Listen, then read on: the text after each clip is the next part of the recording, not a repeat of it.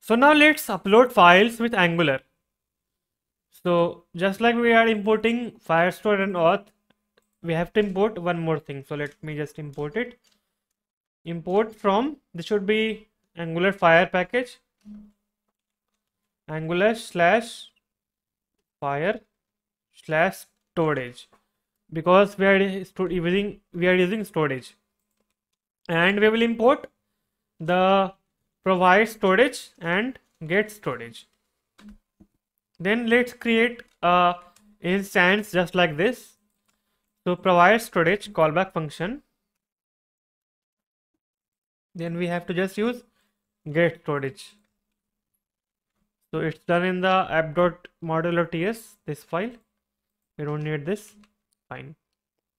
Now we have to import the storage from firebase storage. So say import. So from let's say angular. Angular slash fire slash storage. Okay storage. And we will import. Okay let's add ampersand here. Ampersand no not ampersand. What is this? This is an and or whatever it is. So so let's import storage first. So we have to create an instance of storage from this constructor. So say storage or public storage. It will be storage. Fine. Then we have to import uh, ref to reference the storage unit. Then uploads byte resumable just like we have in the documentation and get download url here. So upload so uh, just uh, import these things. Fine. Now in this file in sorry in this uh, choose file function if i choose a file here it's being chosen and set into this file uh, uh, what is it? This file is called an property or let's say a variable. So if I choose a file it's getting stored inside this file as an object. So we will send the object directly. And so you see we have two files here. Group 1 and 2 we can delete them. So let's delete them. Delete both of them. Fine. So now let's create the storage reference. So in this choose file. Uh, wait a second. So in this not choose file in the add data so in the add data we will use the storage as this dot storage. So we don't need the folder. So just make the let's add the image name. So we don't need all this. We don't need folder. So image name is called this dot file dot image. Sorry this dot file dot name. Then we have to create one upload task reference. So create it here which takes the storage ref the file so the file is this dot file and the metadata.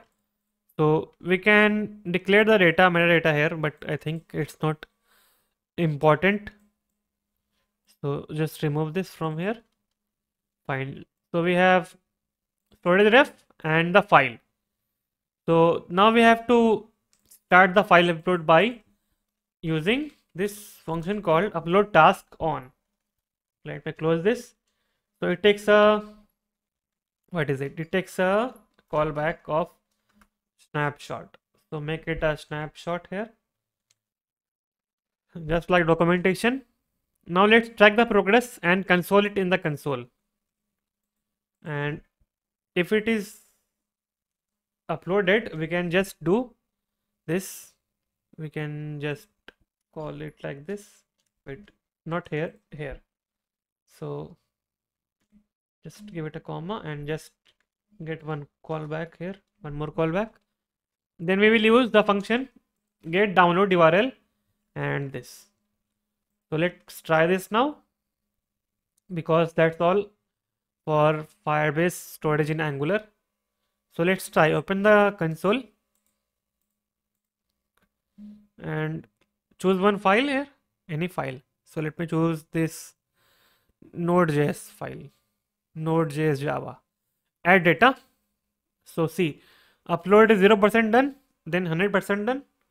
And if we check our uh, Firebase storage this file should be here because we have uploaded it. See if we open this we can see it here this file upload.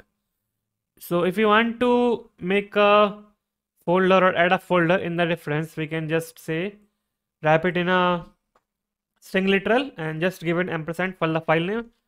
Then just add the images folder name or anything. Just say a folder slash name. Save. Let's try it now. So if i add one more file here this should be in the folder name folder.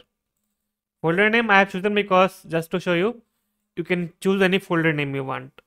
It's not specific to the need. So if i check it here now if i refresh this this should be here. In the folder of folder name. Open and the file is here. See that we uploaded right now. So that's how we use angular fire for file upload. Fine. But one thing i want to show you one more thing is so just let me try to upload one more file here. Uh, choose file. Add one file. Let's see this add data and you will see we will not get this download URL here because the Angular is thinking that this is an error block. So to avoid that, we have to just add this error block as well in the between to make it clear that the third one is not an error block, it's for success. So just add it here and we can console.log this error dot message. Then we will be returned the download URL. So let's try. So choose one file, REST API icon 18 add data uploading uploaded. And see the file link is now here.